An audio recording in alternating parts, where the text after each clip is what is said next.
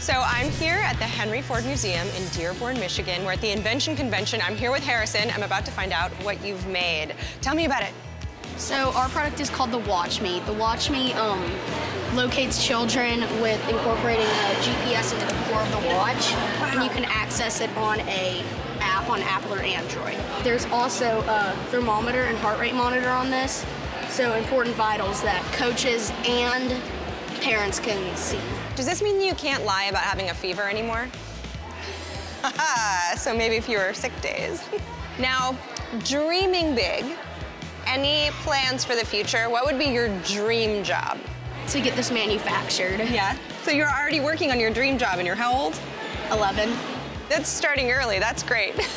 you get a high five for me for that. Good job, Harrison. Thank you for letting me talk to you. Thank you.